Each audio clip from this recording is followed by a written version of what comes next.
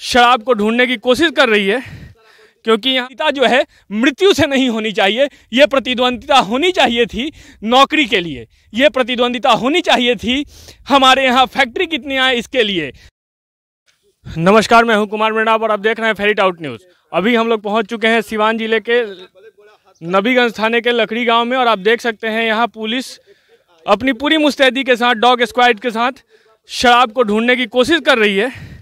क्योंकि यहाँ पिछले रात जहरीली शराब पीने से छह लोग मर चुके हैं और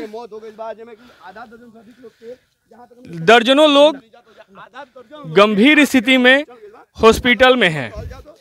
और आप देख सकते हैं ये पूरी पुलिस प्रशासन शराब ढूँढने की कोशिश में लगी हुई है, कवायद में लगी हुई है, लेकिन बहुत ही शर्मनाक है ये कि पुलिस प्रशासन को बिहार प्रशासन को बिहार सरकार को ये सारी चीज़ें किसी की मृत्यु से पहले पता नहीं चलती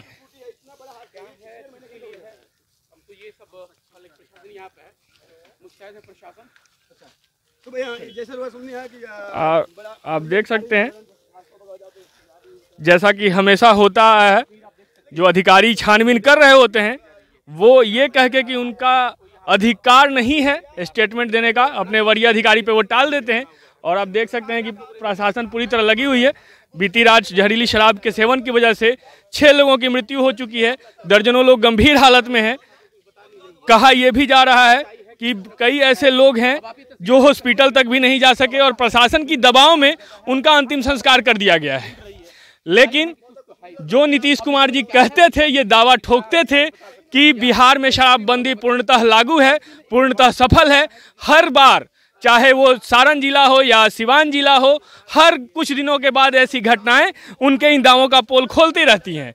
और आप देख सकते हैं ये।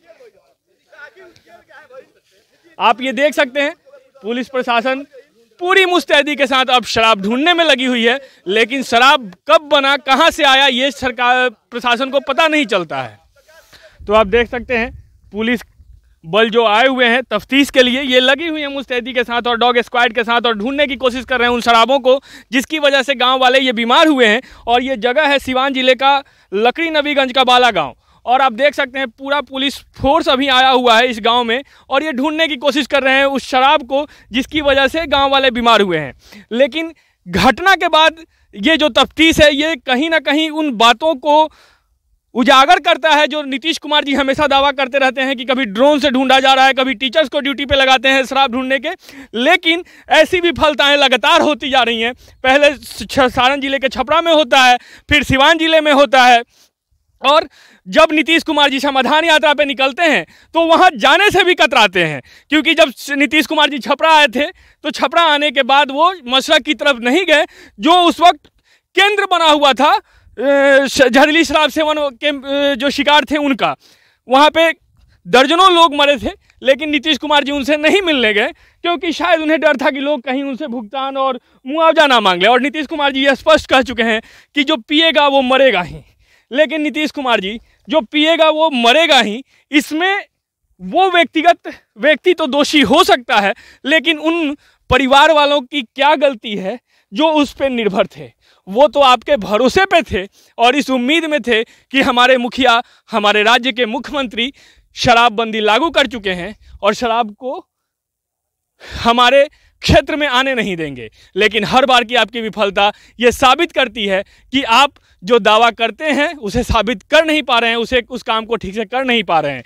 कहीं ना कहीं शराबबंदी की वजह से जो हर बार मृत्यु हो रही है, लोगों का मरना जारी है। और वैसे में नीतीश कुमार जी अक्सर ये दावा करते हैं कि बीजेपी के राज्य में इतने मरे, हमारे यहाँ इतने मरे। ये प्रतिद्वंदिता जो है, मृत्यु से नहीं होनी चाहिए। ये प्रतिद्वंदिता होनी चाहिए थी नौकरी के लिए। ये प्रतिद्वंदिता होनी चाहिए थी हमारे यहाँ फैक्ट्री कितनी आए इसके लिए। ये प्रतिद्वंदिता होनी चाहिए थी शिक्षा के लिए, लेकिन मौत के आंकड़ों में प्रतिद्वंदिता बहुत ही शर्मनाक है। तो ऐसे ही तमाम खबरों के साथ बने रहने के लिए अब देखते रहिए फेरी डाउट न्यूज़। मैं कुमार मृणाब कैमरामैन ऋषभ के साथ बहुत बहुत धन्यवाद।